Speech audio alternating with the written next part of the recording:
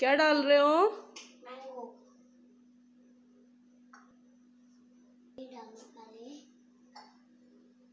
क्या डाल रहे हो?